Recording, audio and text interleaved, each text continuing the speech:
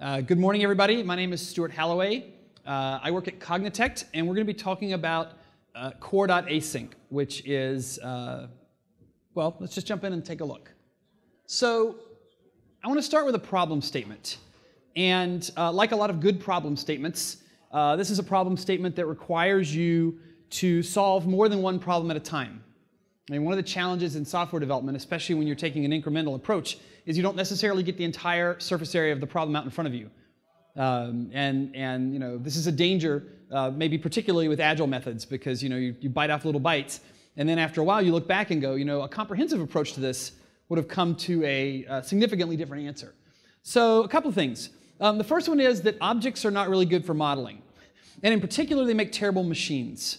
Uh, because objects are like marionettes and anybody can reach in and touch them at any time. And so it's very difficult to control systems as they get larger when they're made out of objects. So um, it would be uh, typical and appropriate circa 2015 for me to then say, well, of course, functional programming is the solution if objects are the problem. Uh, but functional programming doesn't make great machines either. Right? There's, um, you know, there's all kinds of wildness when machines actually have to be stateful and have to interact with other things. Um, that's really a topic that is uh, uh, either not covered in functional programming uh, or is covered with, uh, with complexity and the M word and things like that. So they're not great machines either. Uh, also, as you build systems, you discover that having things directly connected to other things becomes a problem. Right? If you've ever you know, said the word dependency hairball or the word spaghetti code or anything like that, um, a lot of that comes from having you know, object or data structure A depend on B, which depends on C, and all those things have to be wired together and connected. Um, then we get to a more specific but, but you know, easily uh, perceivable problem, particularly in UI programming, uh, in environments where we don't have uh, great threads or great control of threads, and that's callback hell.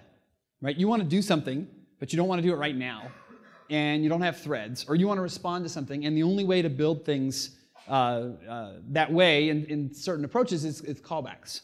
Now, the solution, sort of, to all four of these first problems uh, could be queues. So we could just say, well, if we use queues to separate our machines, right, they're little conveyor belts between our machines, then the machines don't have to know about each other anymore. There's great indirection, right? The machines only have to know, you know, some kind of package comes off a queue and I do something with it and I put it on another queue. So that would be pretty cool. Um, so we're not, you know, chaining together objects or chaining together functions anymore, and we're not directly connected. Um, the problem is that the implementations of queues that we have uh, are pretty coupled to threads. In particular, a lot of people write code that runs on the JVM, and the Java util concurrent queues, as awesome as they are, block real threads. And um, it's trendy, and for good reason, not to consume real threads. So we'd like to have some way to do things that doesn't involve uh, consuming threads. And so threads kind of suck even whether they're good or bad. Right? When threads are good, they're expensive and you don't want to use them. And when threads are bad or non-existent, you don't have a choice. You can't use them. So these are the problems. And uh, core.async is a compelling solution to this set of problems. It's not a solution to all problems. It's not you know, uh, a floor wax and a dessert topping. Uh, but it is a dessert topping that solves all these problems. So, what's the opportunity here? We want to have a first-class conveyance that's like queues. And a lot of the things I'm going to say today about how you would design or build systems, uh, you could easily lift from you know, probably hundreds of different you know, conversations on the web and research and academia and practice and production that are all about queues, but they can't be queues for the reasons we just talked about. We want to have a model for processes. So these are the actual machines that consume things from queues and put things on other queues. So throughout, throughout the rest of this talk, um, the granularity of process is going to be, uh, I'm going to use that word to talk about something inside of an operating system process. So we're going to compose an OS level process out of lots of smaller processes. And we could pick a different word for that, but I'm not going to because that's what the academic literature uses. And so I'm going to maintain faithfulness to that uh, at the cost of you having to sort of keep in your mind that when we're talking about processes here, we're talking about an independent scope of control, but we're talking about something that's going to be smaller than an operating system process, and you're going to have a lot of them in an operating system process. Uh, this solution is not going to be um, you know, a brave new world where you don't get to use your existing tools and libraries. So in order for this to be really great, it needs to be integrated with platforms that you might already be running on. And the two platforms we're going to talk about are the JVM and the browser as a platform. And by putting all these things together, we're going to be able to build systems out of robust subsystems. And this is, you know, the classic problem of spaghetti code that you don't feel like you have a robust system, right? You reach in and you tweak something over here, and what happens? Right? Something falls down, but, it, but it's, it's failure at a distance. That's the worst thing in software, and, especially when it's combined with intermittent, right? You do something over here, and then sometimes over here something catches on fire. And in my experience, that sometimes is you know, not during your shakedown tests, and it is in front of your biggest customer. So we want to be able to build robust subsystems. So that's what we're going to do. Now, it turns out that lying on the shelf uh, for decades now, uh, there has been a technology that really elegantly solves these problems, and it's called communicating sequential processes. And uh, what CSPs provide are an abstraction for processes, right? A thing that represents an independent flow of control, an abstraction for conveyance. You could say queues, but the, the actual uh, term in the literature is channels. Um, and those things together form a new kind of concurrency primitive that you may not be used to. It's a coordination primitive that says if I'm going to put something on a channel, then I am going to block or pause or stall, and we'll talk about the semantics there, until someone else can take it off. So that's a handoff. It creates a simultaneity point between two different processes. In order for me to produce something, you have to be uh, ready to consume it. And then, using these tools, we're going to be able to write programs that in their aggregate effect, are complex and asynchronous, but locally we can reason about because the individual machines are sequential. Right? There's a machine that says take something off of this queue and turn this crank and put something on these two queues, except on Tuesdays, take something off of this queue and turn a different crank and put something on this other queue. But all of that logic is going to be linearly, uh, be linear, and it's going to read as if it was all going to run sequentially. So this is actually a really great name, communicating sequential processes. It's exactly what it does. Right? You compose your system out of lots of little sequential things, which are easy to write, easy to test, easy to reason about. Now, we're going to add a couple of things on top of that. Uh, one of them is multi-reader and writer. So if you're used to using queues as an abstraction, you may not be accustomed to having the ability to say, I want to do a blocking read-write on four different queues operation. So I want to either take something off this queue or write something to this queue, or write something to that queue, or write something to that queue. On the other hand, if you've written a lot of OS level code, you may be very familiar with doing that kind of thing. If you're a Unix programmer or a Linux programmer, that's called select, right? It's something that lets you, uh, you know, try to do multiple things at once and let one of them win.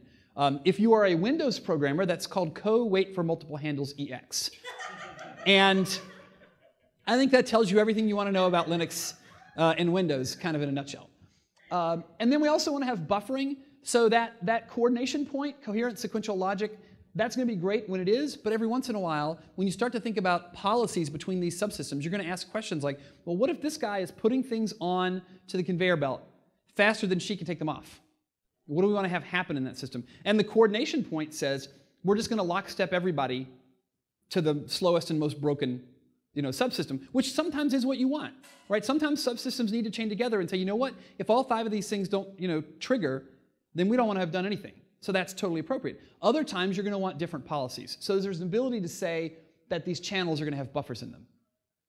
Now, if you followed everything I've said, we're kind of done now.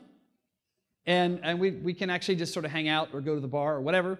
However, however, uh, the conference organizers have uh, explained to me that we want to stagger um, going into lunch. So I've been instructed to run long by five minutes. So I just want you to know that in advance when we go five minutes past the end time that I'm doing it on purpose, not just being mean. Or I'm being even meaner because I'm keeping you from food. Um, but in order to do that, I'm going to go ahead and continue. The, this is actually the last slide, but I, I'll go ahead and continue the talk for a little bit longer. So, what are we going to do? So this is the this is the the sort of canonic picture of what it's like to build a system like this. And the thing that's great about this is you write that little green box. And it's colored green because it's relaxing and peaceful. And it's relaxing and peaceful because you do sequential things. You say, go and grab something off of this channel, go and grab something off of that channel, and then put something on that channel, and then put something on that channel. And your program is built out of these little machines that are easy to reason about. There are two, uh, in the actual implementation we're going to talk about of CSP, core.async, there are two first class process abstractions. One of them is called thread. Thread is available on platforms that have real threads, and it uses a real thread to implement the process. Um, Go is available places that do not have threads, And uh, Go uh, rewrites your program internally to allow you to write a sequential code, you know, sequential code in this block, um, and it will schedule pieces of it onto whatever is available on your platform. So if you are running on a platform with threads, Go will use a thread pool. Um, if you are running on a platform without threads, um, it will actually do once and for all and in one place magic callback hell behind the scenes to schedule all this, and then you write all of your code, uh, forgetting that that stuff exists. So that's your processes. You've got two kinds of processes, and then there are um, channel operations, and the channels are really simple, right? You can put things onto the channels, and you can take things off of the channels. And the APIs are different depending on where you're coming from. If you're working in a Go block, you can say put something on a channel, the single bang put and take operations. So the arrow bang, uh, in bang, and out bang, if you will. Those are, I'm running inside of a Go block and I want to put something on a channel. Then there are the threaded versions, which are the double bang versions. I'm consuming a thread, and so I want to put something on the channel or take it off. Those will block. Right? We talked earlier about these channels act as a, as a coordination primitive. Those will block. Well, what do you suppose the Go ones do? They can't block. Right? They don't own a thread. So we use a different word to talk about essentially getting the same semantic from a programmer's perspective. They park. And what that means is that the execution is suspended and the state is remembered and it's kept in a table. And then when it can execute again, it gets scheduled again on a thread pool or how, you know, whatever the underlying substrate that you're working on is. And then finally, and we'll talk about this one early because it's important when you actually go to write programs, there's also the ability to do the English word put bang and take bang, and that's for integration with external things. Right? So the minute you start trying to use this in a system, you're going to have a system like a web browser that's creating events. You're going to have a front door there that events come in, and you're going to have one loop that says, whenever I get an event, put it on this channel. And now you're done. You never see callbacks again. So, let's take a look at uh, a set of examples that demonstrate this in the browser. And these are going to be single operation examples. So I haven't shown you how to do multiple things at once yet. I've only shown you how to put things on a channel and take things off a channel. But even with this, we can do some pretty useful things. Uh, the examples, the slides, uh, the link at the bottom takes you to all these examples. The examples are all on GitHub. And in the case of the first couple of examples we're doing, these examples also have a webinar that goes with them that uh, David Nolen, who wrote a lot of the code behind this, um, presents this stuff. Um, uh, he's a very smart guy, and so if you're at the end of this, you're like, wow, that was so cool, I'd like to do it again, but with a smarter person, then, then you could go and watch the webinar. Now, it occurs to me that I've done something a little stealthy here, which I started like showing you Clojure code. And it's probably important. How many people can read Clojure code like nobody's business? How many people are nowhere close to reading Clojure code? That's good. That's courageous. How many people don't raise your hand when you ask questions in conference talks? Okay, so now we know. So I'm going to teach you how to read Clojure programs. Fortuitously, Clojure is one of the easiest languages to learn at the basic level. It's a little bit like Go. Right? It's really easy to learn the rules, but then there's a lot of things you can do with it. So, uh, so here are the rules. Here's a Hello World program in Clojure.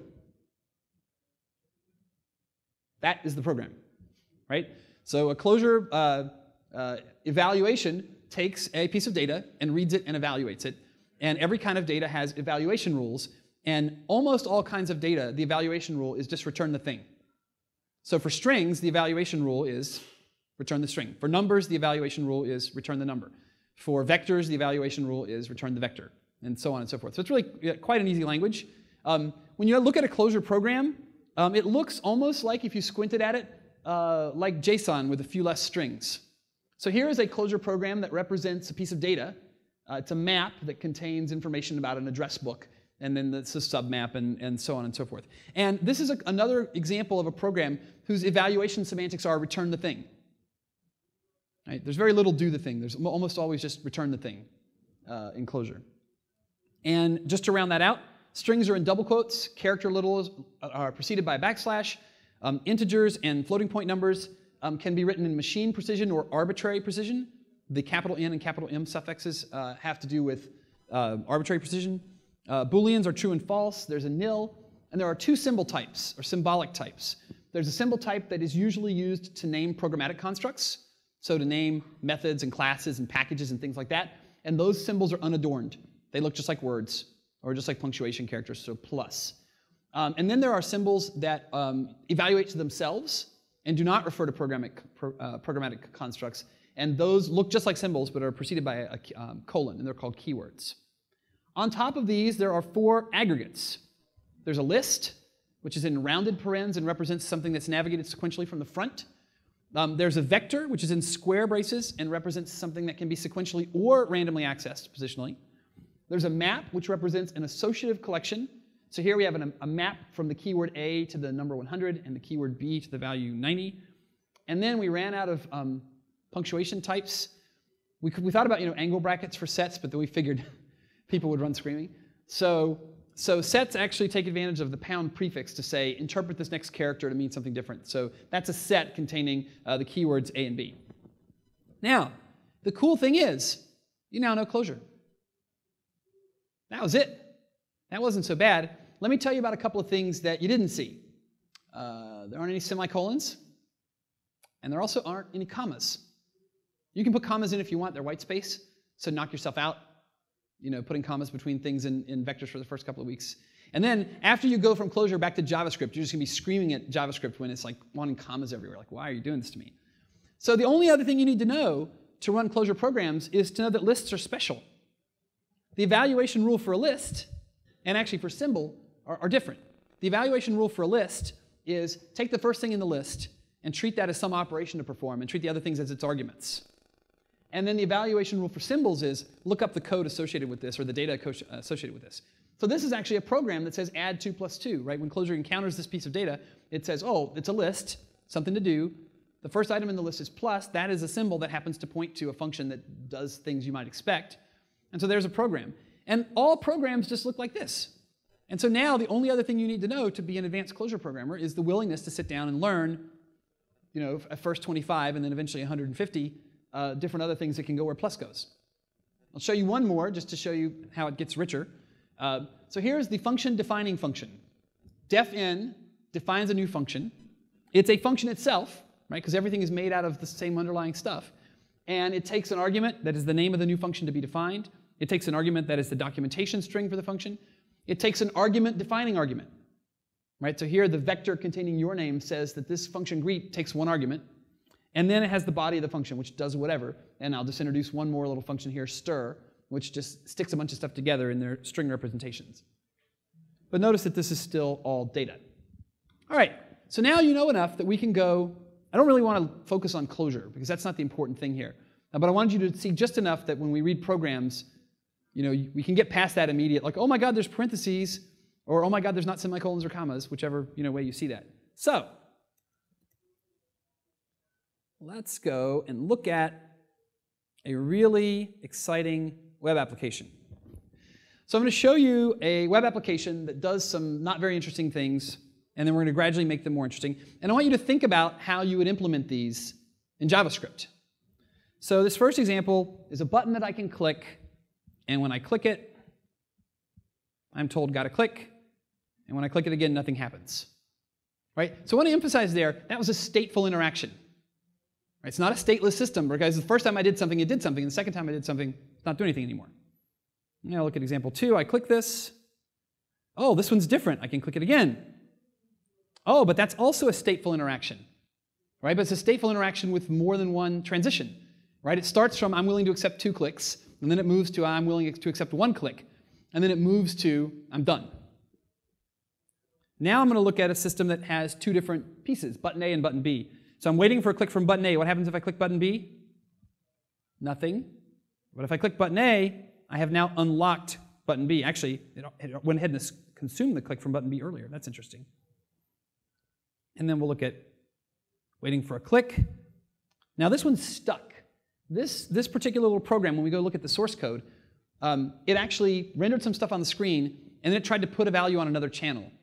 But we don't have any, remember that's a coordination primitive. Um, the interesting thing about this when we look at the code is we don't care that one of these Go blocks gets stuck.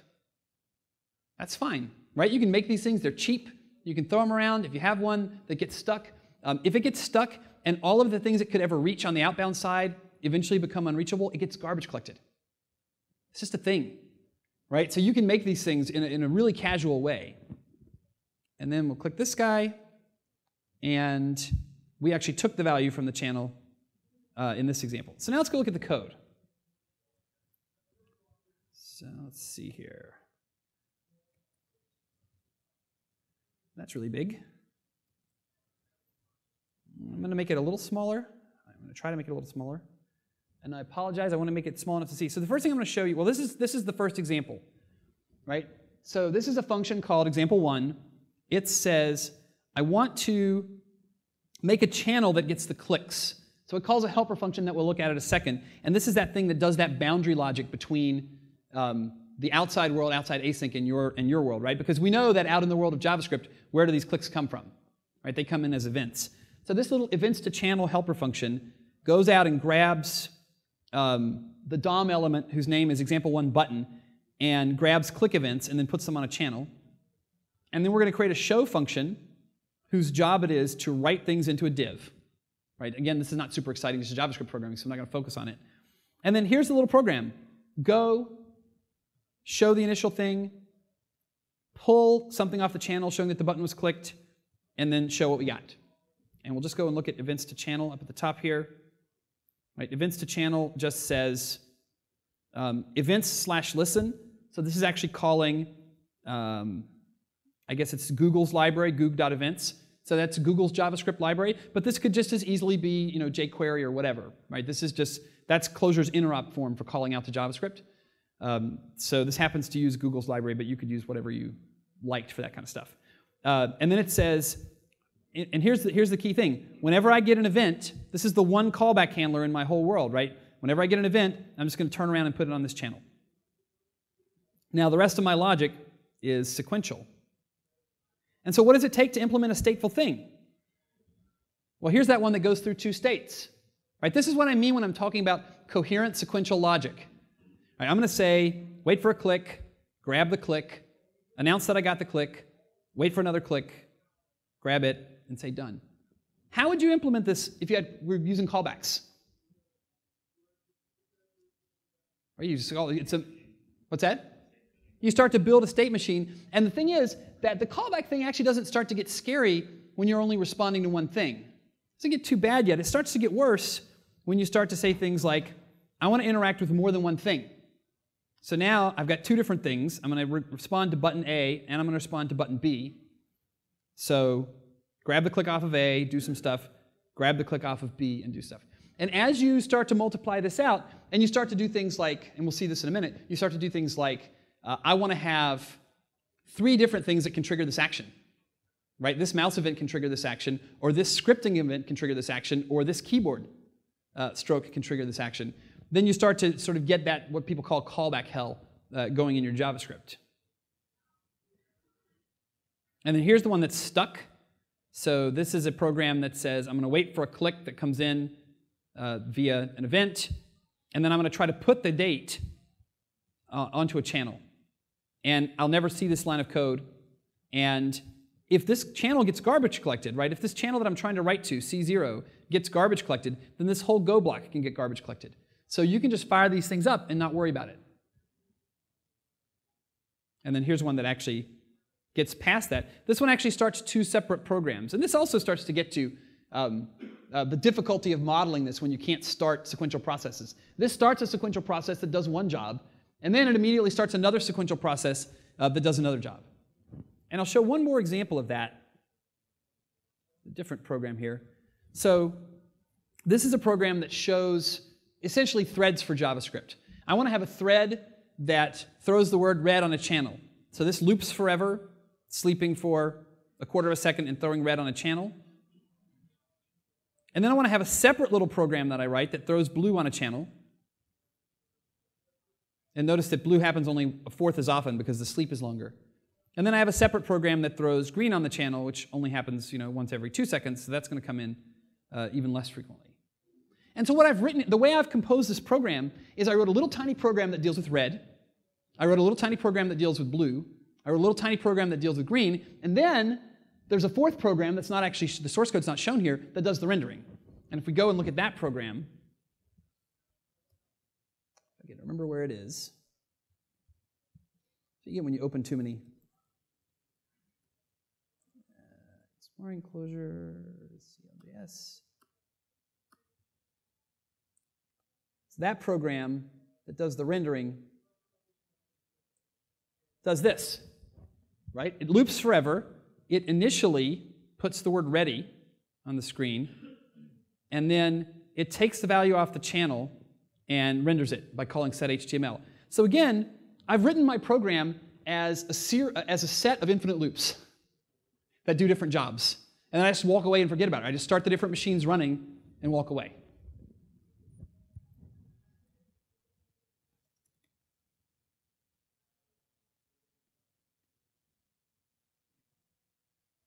All right. Now, one of the things that happens when you start writing programs like this is that you essentially want to do multiplexing and demultiplexing of various kinds, right? So you have um, two or three different kinds of inputs coming from the outside world that you want to have all trigger the same action. You want to route two different things to the same channel. Or you have something that you want to trigger in different things. So some input comes in and you want to route that input uh, to a bunch of different places. There is no rocket science to the next five slides.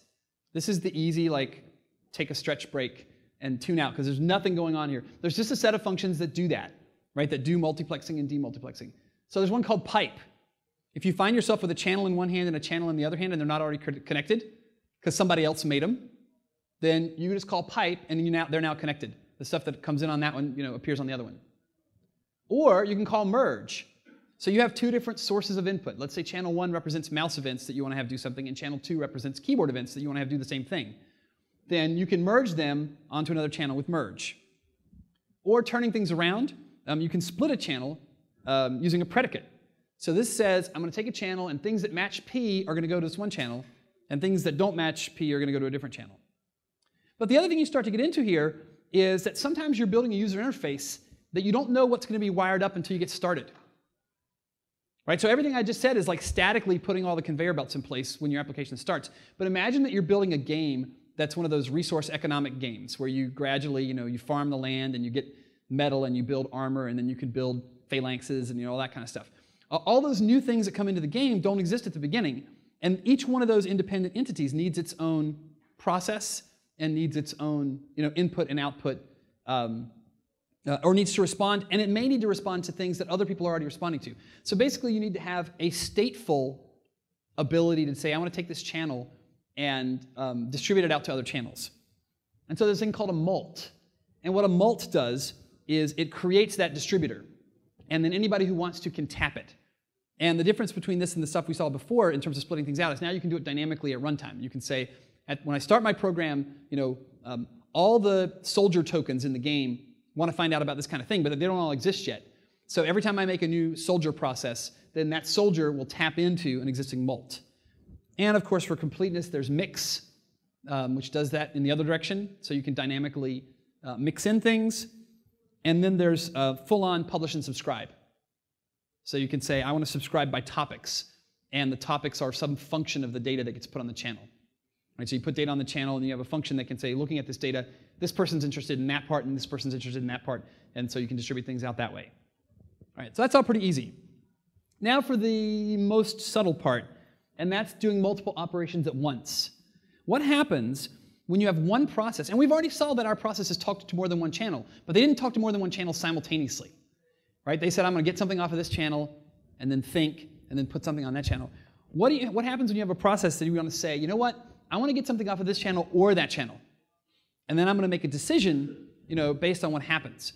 And so everything that starts with alt, which stands for alternative, um, lets you do this kind of thing. It lets you wait on multiple operations at once, as many as you want. Um, it's very similar to Unix's select, as I said before.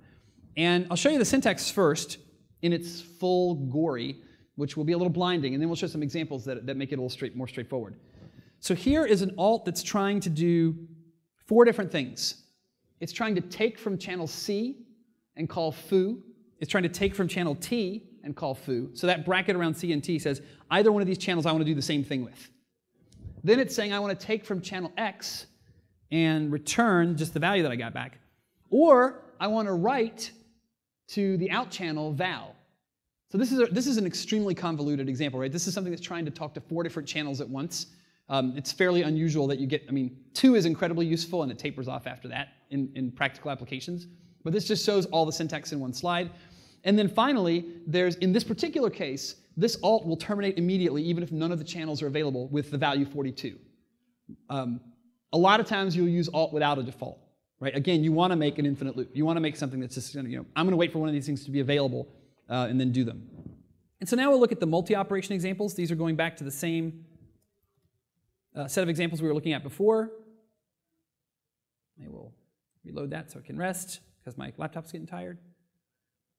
All right, so here is a, I click on this button and then it will start tracking the mouse and reporting where the mouse is.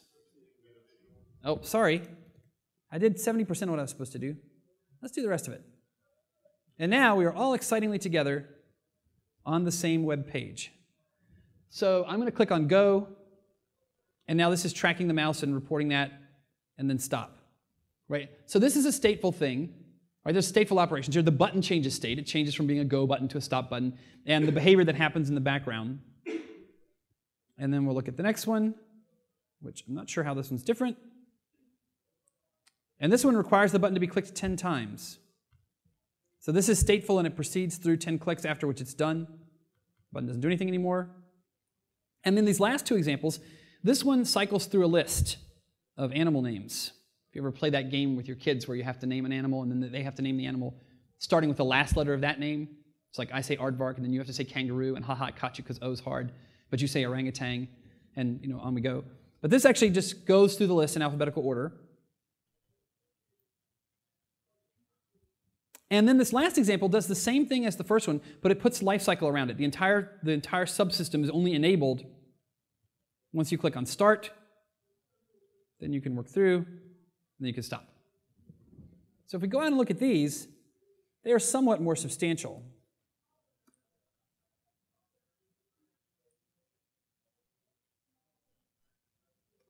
So now we are responding to a couple of different buttons and we are responding to clicks and to mouse messages.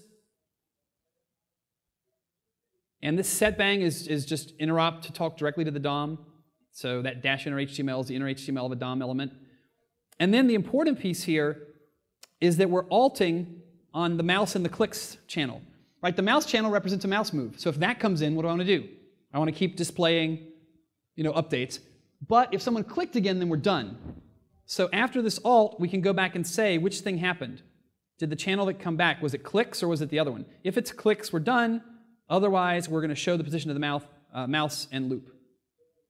So this is an example of a uh, not infinite loop anymore because it's looking at two different channels and one of the channels gives it, a way to, gives it a way to terminate. Right? If somebody clicks on this, then we're, we're done with this little subprogram. and they just get more substantial. I'll go all the way to the most complex one.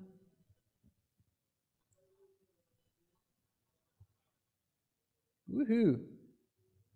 So here we have three buttons we want to look at. The start stop button, the previous button, and the next button.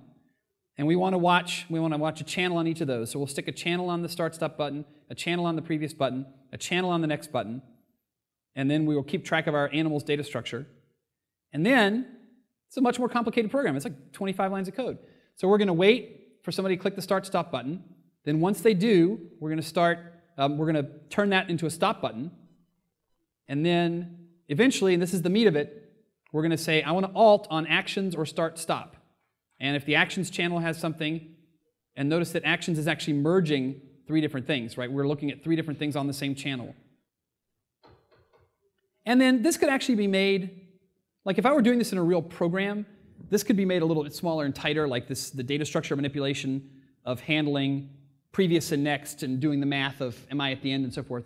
Um, the purpose of this is to show you, not necessarily in this case the most idiomatic code, but to show you that you can always write your program out of a bunch of small, wholly linear pieces, right? Do X, you know, I mean, this is fantastic. You sit down and you have your requirement for how a feature is going to work. Well, it needs to start, has some life cycle, then it needs to do this for a while, and then it needs to do that, and it needs to end. All your programs have exactly that shape. And then the last example I'll show for that is actually the canonic example that people use, which is search with SLA.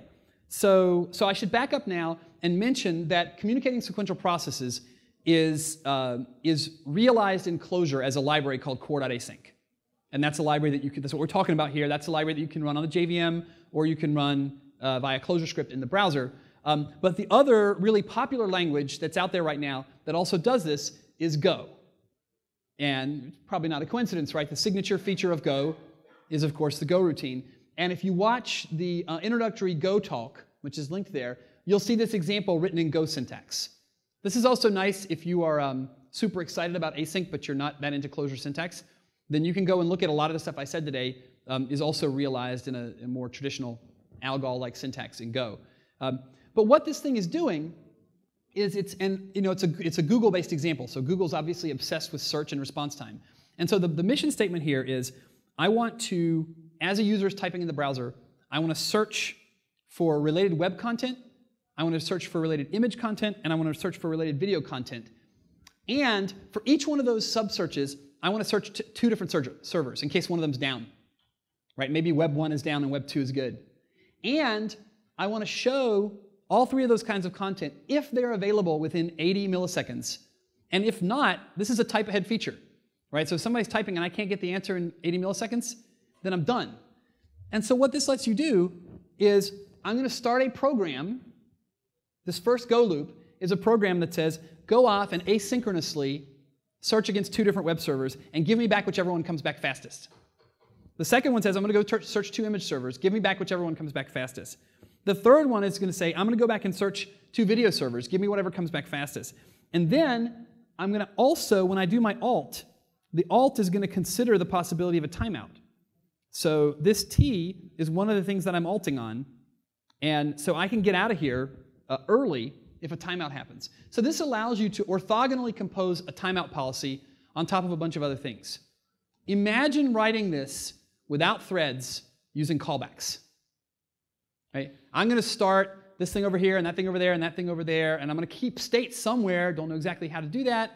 Um? This turns a hard problem into a trivial problem.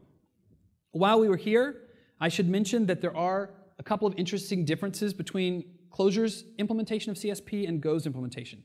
Uh, Go implements CSP as a language feature. So the operators in Go are statements, right? They're actually part of the language.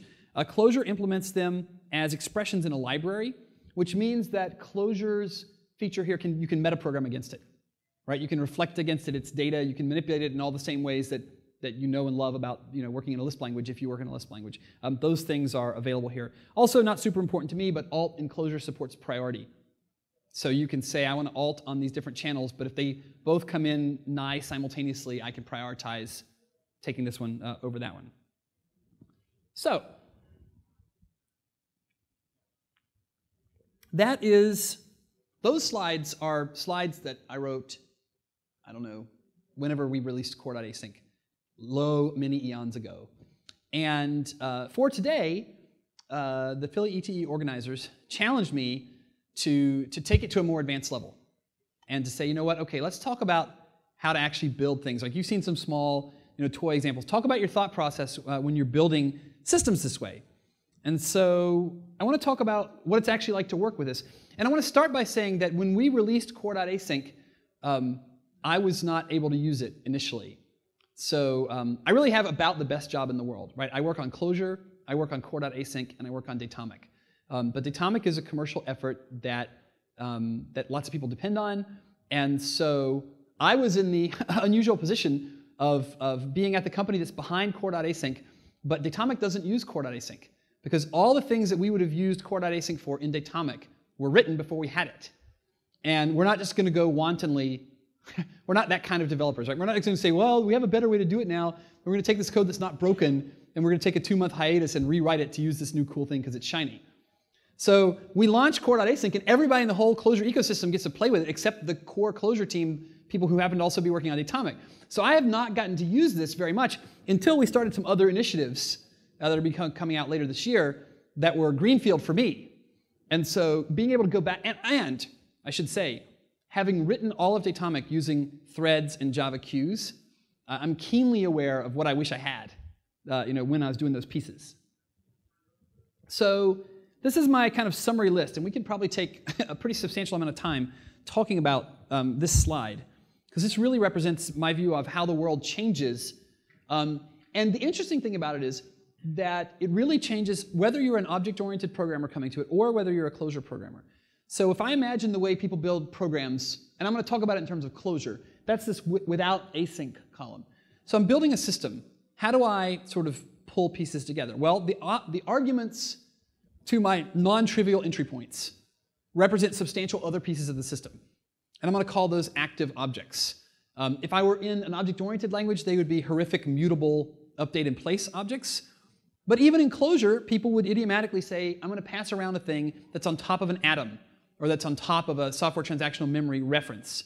So it's got sound concurrency fund fundamentals baked in, but still represents passing around these active objects around the system.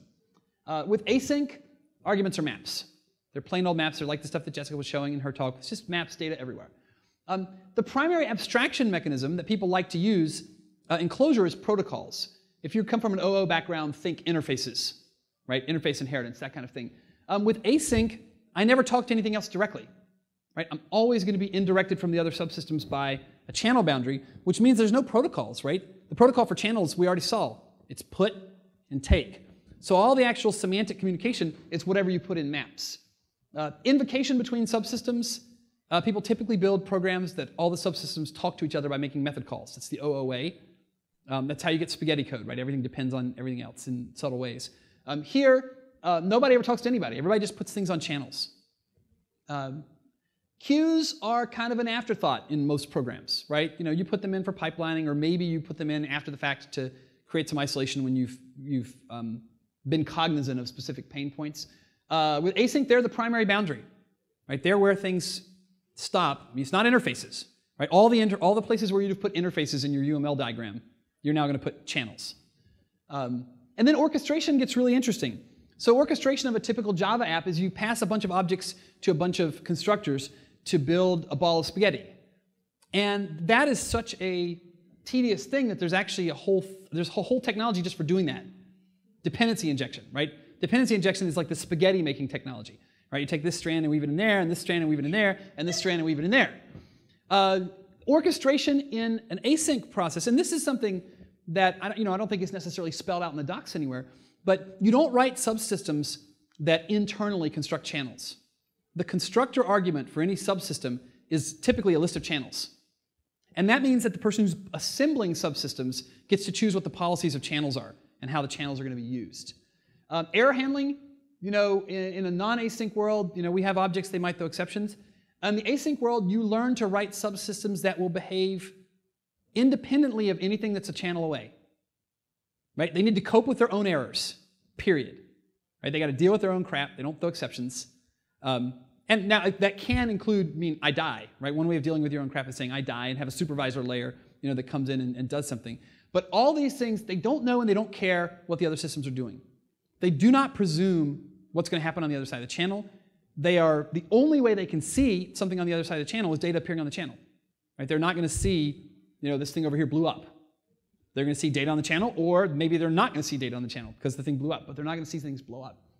And then finally, and this one's really important, is how do you model state in this world? Well, if you go back and look at the examples that I showed earlier, it was, they were actually purely functional. Stateful behavior emerged by having a loop where you could put things in and then put things out on channels. But the loop itself, the internal state, was we were recurring over values. So that was purely functional. That is, in fact, really great. And that's something that you could do in any language, you know, pulling stuff off a queue. You could take a functional approach and, and do that. But in Clojure, we have another choice. You can use all of, of uh, Clojure's other concurrency primitives, what I call the unified succession model. And this is, this is you know, a whole other talk in itself, so I'm not going to go there entirely right now, but Clojure's atoms, Clojure's agents, uh, Clojure's reference types, all those types you can use in conjunction with this. So you can have communicating sequential processes that only work with functional values, or you can use these other uh, state primitives. So one of the things that this immediately takes you to is that in order to do all this, in particular the orchestration and the error handling, we can't just have those simple coordination channels that I talked about before there has to be an ability to put buffers on channels. And so there's a set of very straightforward uh, semantics. The basic coordination primitive is channel, which is unbuffered, which means that a producer and a consumer have to rendezvous to exchange a value. It's a coordination point. You can also have a fixed channel, which blocks when it's full. So that's just a channel that takes a number as an argument. Or you can have a sliding channel that drops old stuff when it's full. Right? So I'm going to drop anything that's old. I'm just, you know, I, I don't care. I can't keep up, so I'm just going to forget about it. Or you can have a channel that drops, a buffer that drops the newest one full. And you could extend the system to do other things besides this if you want, but, but typically you're not going to. You're not going to need a lot more than that. This implies, well, doesn't imply. Um, we benefit greatly at Cognitect from having a visual vocabulary for doing architecture diagrams that's in terms of this. And I took one of them and I just stripped out all the text so you could just see the, the basic vocabulary. And so what you're seeing here is that the little things that look like squished home plates are channels. And notice that the, the box represents a subsystem. So the whole box at the top is a subsystem. And this subsystem communicates with the outside world through no interfaces. Right? There are no interfaces. The only way it communicates with the outside world is through four channels. And if you go and look at where the, where the arrows are pointing, um, it appears to consume from two channels and write to two other channels. The insides of this thing are more complicated in some cases than a single process. So in this particular one, there's a single-threaded process, that's the one inside the little thread there, talking to another single-threaded process directly. Right? So doing something lower level than what we're talking about here, like having two things that are intimately coupled, you know, one thing directly calling into another. And then the other important piece here is the little tiny box with a dot pointing to a table. That represents if there was just a table there on one of our architecture diagrams, that would represent a piece of immutable state, something that was being recurred over in this. But the fact that there's that little tiny pointer pointing into it means that that's a Clojure atom, that this is a reference to state that could be aliased somewhere else. It's still thread safe, but it could be aliased somewhere else. Other people could see it, other people could observe its value. Uh, and uh, forcing ourselves to draw these diagrams uh, of all the, if we're going to make anything that has machinery that's not purely functional, it has one of these pictures. We have thousands. Um, we also take an immutable approach to making the pictures, um, which is unfortunately not, we use OmniGraffle primarily. Um, we take an immutable approach to making the pictures, which is if you ever make a picture and you decide you don't like it and you want to make a change to it, the first thing you do is duplicate it. So all the old pictures, uh, I wish there was a way in OmniGraffle to, maybe there is, I should look, some way to lock things, because every once in a while I forget and I commit mutation, which really makes me sad. Because we have this, you know, archival history uh, of all the things that we've made. And this is incredibly powerful, and it's really different than programming uh, OO style with interfaces. It's also really different than programming with actors. So there's a nice book, uh, Seven Concurrency Models in Seven Weeks, that Paul Butcher wrote. And actually, Paul, I've not met him, but I reviewed the book, and he's speaking here, I think, during this time slot. So you should tweet that you feel like you got the best value because I'm going to talk about his stuff too, or a little bit right now. But I'm actually looking forward to meeting him. I have to, you know, go and find him uh, during the break. And so uh, uh he gave uh, several examples of actors, and I have ported those uh, examples to use uh, to use core.async. Um, and I can point you to those slides. But the actual point I want to make is that I can't straightforwardly implement the architecture picture I just made with actors.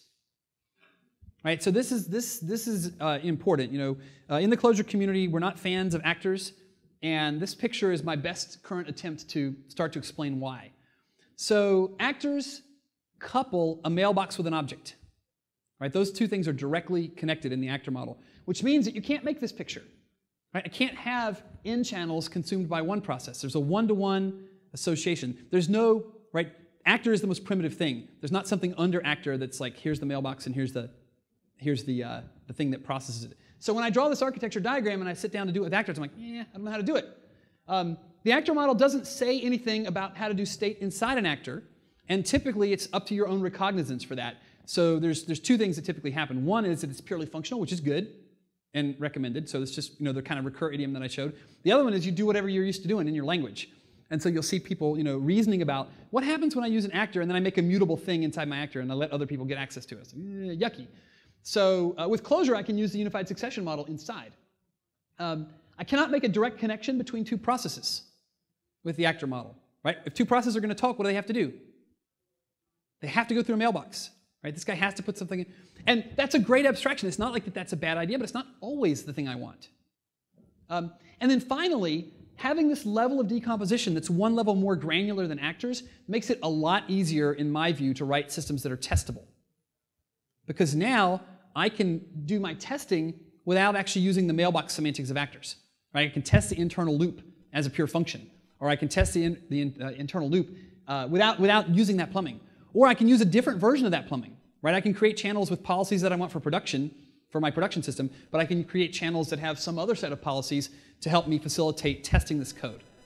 And I think it's pretty obvious that um, queues and processes are more primitive than actors. Right? Actors are a, a merger of those two things. Now, um, in fairness to the actor model, I think a place where it really starts to add a ton of value is when you want to have um, unified semantics in process and out of process. Right? That's where things start to get exciting with the actor model because this is a model, right? This model doesn't run out of process. Right? It has things in it like me dynamically deciding which mailbox to connect to. Well, if I'm not in the same mailbox as a process, I can't make that decision. So, so actors' limitations are partially about wanting to have a unified model for in-process and out-of-process operation. That's not an objective of core.async. I'll come back. So, what else do I want to? So the last thing I want to look at, just as sort of visual fun, is talk about a couple of examples of people putting um, the JavaScript side of this to real world use. So one of the most exciting libraries on the browser side uh, ecosystem right now is a library called Om that David Nolen also wrote. Uh, and what Om does is it provides a value add layer with ClojureScript on top of Facebook's React. And I've linked here um, three really cool demos that, well, they're not really demos, they're really the real thing. And we will see if our web access will let us actually see one of these while we're in here. So let's go to Goya. So this is a, uh, an, a pixel editor that's written with ClojureScript plus Om plus um, core.async.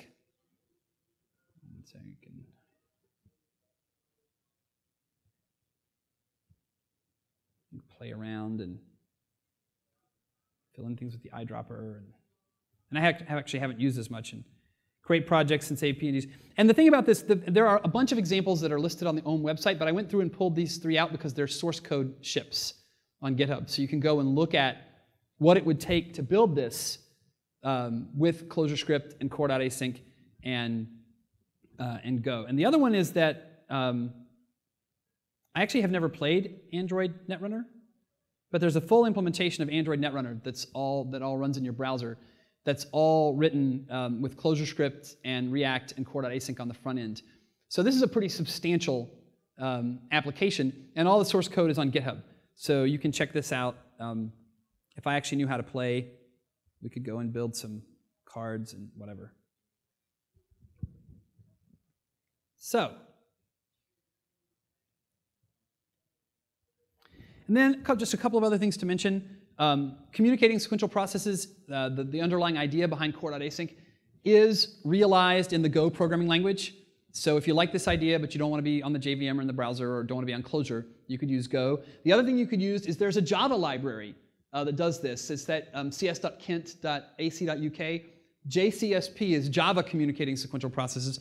Um, that also ships with a slide deck that is a scathing critique of object-oriented programming um, uh, and, and, a motivation for, uh, for Java. And that might be something you wanted to share with coworkers um, who might find the Clojure stuff that I'm talking about a little bit too far-fetched because it's all, it's all in good old-fashioned uh, Java. So something that people would recognize. Um, and with that, I would like to open it up and take uh, a few questions. Dave Thomas. You can walk up to the mic, or I can just repeat your question, whichever is easiest for you.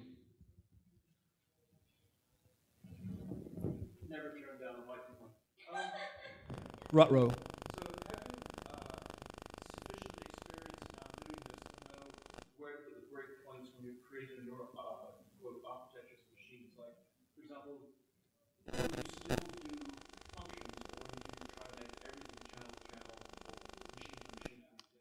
So uh, Dave's question was uh, not loud enough to be picked up, so he got to use the mic, but I'll repeat it anyway. Uh, you know, uh, how much experience does it take to know where to put the boundaries? Um, I think it takes pretty sensitive design sensibilities to do this, but that doesn't really change regardless of what technology you're using, right? Figuring out where to put boundaries in systems is, is one of the key essences of what we do. Um, but there was definitely a point, you know, um, a couple of months ago um, where I just got overly enthusiastic and I was putting in, you know, channels everywhere. And, uh, and uh, Rich had done a, a diagram in Graffle that had like five channels in it and I was going to implement the thing. And while I was implementing it, we always update the diagrams as we go. And I had added like six more channels. And, and his comment was, You're writing Erlang now. Right? You've gone too far. So, so the thing is that the, chan- the, the channels, when they're used like a little conveyor belt, which is the use I've talked about here, there are some other more advanced uses that we didn't get into. But when they're being used that way, they need to represent an enduring relationship. They need to represent an actual conveyance, an actual, you know, a step in between. And if you find yourself using them just to make asynchrony happen, or you know, then then you've overshot. Um, but I think those sensibilities. I mean, one of the nice things about having these large examples is you know getting the ability to sort of work on that. The other thing is that the slide that I showed. Go back to the. Yeah, this picture. The slide that I showed. This is really advanced, right? I'm showing a, a system where I've chosen to wire two processes directly together without a channel in between, that's really unusual. Um, I've shown something that's complicated enough that I want to have an atom to keep its state so that I can alias that state and access it elsewhere. Um, that's not something you necessarily uh, go to immediately. Um, the one thing about this that, that you, know, you probably do do fairly early is li listen on more than one channel. And you've seen a canonical example of that um, in the lifecycle and work channel. Right? I have a channel that tells me you know, when, when the show's over, and I have a different channel that shows me the work that I want to do. But this is really quite advanced. If you look at if you look at those 10 examples, and then the way that Go blocks are being used in the Netrunner app, or in the um, or in Goya in that pixel uh, art app, what you'll see is really much more vanilla usage than some of the stuff that I've shown here, and it's really that straightforward. You know, Go, blah blah blah blah, um, and it, and it's easy to see. The other thing I would say is that if your logic is tortured when you're doing it this way, you did it wrong right? So, so I mean, we're continually surprised, and this is true supporting people using Clojure and specifically using async, uh, at, at how people will paint themselves into a terrible corner before they realize they're in trouble. And then they post a code snippet, and you're like, I can't even start with this. It's so, it's so complicated, right? If it looks complicated, you did it wrong. So, um, and sometimes it means we did it wrong. Sometimes it means the feature doesn't exist, or there's something that's missing. Um, but you know, if you feel like it's complicated, I think you should you know, get on the mail, Clojure mailing list and say, I'm trying to do this, and it feels complicated. And a lot of times what will happen is, you know, well, it turns out that's not the right abstraction for the job. The, the classic example of that from early in Clojure's history was software transactional memory sounded cool and it had a big academic pedigree. And so everybody ran off and used software transactional memory for everything in their Clojure applications. I've been writing nothing but Clojure for my day job since 2009, and I've never used software transactional memory in production. Not once. And that doesn't mean it's crap, it just means that it's you know, suitable for some problems and, and not suitable for others. Uh, but that kind of guidance is definitely subtle and takes time. And, and this is about building machines. It's about state. State's hard. There's a reason that you know, Clojure is mostly functional and that this is you know, uh, you know, out on the edge of it. That being said, we have to build I.O., we have to build user interfaces, so that's hard and we have to deal with it. Uh, question? How often do you have to worry about the performance of the channels? How often do you have to worry about the performance of the channels? So David Nolen has done some benchmarking on the channels um, in JavaScript. Obviously, that's a place where you're probably more worried because Go blocks are, you know, complicated, hairy beasts compared to threads. You know, we think about the two different uh, process mechanisms, uh, and you know, easily, you know, making tens of thousands of Go blocks is not a big deal. So always there's an order of magnitude that matters. Um, you know, 10 billion Go blocks probably doesn't fit in memory on anything you're trying to run on. Uh, but, but you can take a fairly, you know, I'll solve that problem if I see it attitude at the beginning because you really can. You Go blocks are quite inexpensive. And of course, threads are expensive. You know how expensive they are. Um, so if you choose to use threads. So for example, in the project I'm working on right now, um, it has a lot of characteristics in common with the Datomic's update system. And so um, I have chosen to model all of those I actually really want those processes to be super first class. I want them to dump stack, you know, dump information into the log that says what thread they were and you know all that kind of thing. And there's a very small fixed number of them, so they're all done with threads. So there's definitely, right, you know, this doesn't get you out of understanding how to build concurrent systems. It provides some powerful tools for doing it.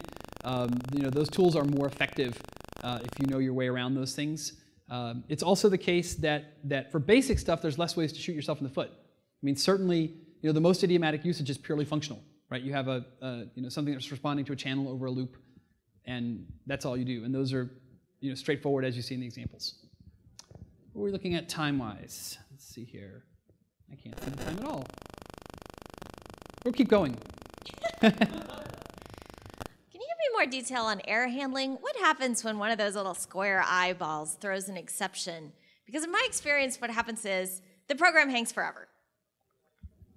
So, uh, so Jessica wants to know, uh, you know, what happens when errors happen in your program. Uh, well, you know, it is the. I'll find a positive way to state this. Um, it is the Clojure way to prioritize implementation for correct programs. the flip side of that is, the flip side of that is, uh, Clojure is not the most helpful environment in the world telling you what's wrong with your program, and this is a fundamentally hard thing, especially when you're using Go blocks. Right? When you're using Go blocks, you're not on a thread that you control. You're, you know, you're being scheduled by this machine, and, and you're fundamentally async. Like your failure is not necessarily where the cause was. Even it's not even on the same thread, um, and that's always more challenging. Um, there's probably a whole talk to be had about that. But the thing that I would say that would help people most getting started is think smaller. And this gets back to people painting themselves into a corner and then coming on the mailing list with a 100 line program and saying, why doesn't this work? And my first question would always be, you know, did you build it up one line at a time from programs that did work? And the answer is always no. And, and it's really go back to that. And, and part of this, I think, and I've made this argument before, part of this is that your first programming language defines your sensibilities for what is a unit of work. And so if your first programming language is Java, you think you should write 15 lines of code and then go check and see if it works. Right? Well, 15 lines of Clojure can be a huge program. Right? You definitely should not write 15 lines of Clojure and go see if it works. I mean, I write Clojure one S expression at a time, and I make sure those expressions work. And when you do that, you, you know, get yourself into that situation a lot less often. Um, I'm not saying it wouldn't be better to have better error handling. I think the bigger, the, the bigger thing, and that matters for correct programs too, is having more diagnostics of just what's going on right? You know, how full are the buffers? You know, how, how, how's the scheduling happen? And so that's something that, you know, is definitely an area for future improvement in async. All right, one more question. Um, what do you do about uh, resource handling if, if you've got a, a, source that's reading from a file, or say two sources, and then at the other end, um, a channel, a derived channel, uh, there's there's something that's uh, using that information, and then it's done, and there's nothing else that's interested in, in that? How do you make sure those file handles get closed at that point instead of at the end of the execution? So the question is, how do I make sure that uh, resources get cleaned up? Um, when you can, um, scope that kind of resource use inside a single Go block, right? So there'll be so Go blocks will have try finallys in them just like anything else. Um, when you can't, and it's pretty unusual, right? I mean, you're that's another example of you're painting yourself into a bad place. If you create some asynchronous thing over here that makes a resource, and you know something over here has to be responsible for cleaning up. But you end up having to convey that information and saying, you know, I'm going to go from you know, point A to point B and, and make that work. All right, what time do we have in the back? Excellent. We'll go for one more minute. I'll say um, thank you very much. This is my first time at uh, Philly ETE. I'm giving a talk uh, after lunch that won't have any Clojure syntax in it at all. So uh, if you like what I had to say and were scared of the parentheses, come back for that talk. Uh, otherwise, uh, enjoy your lunch. I will stick around at the front of the room and take questions if people have them. Thank you.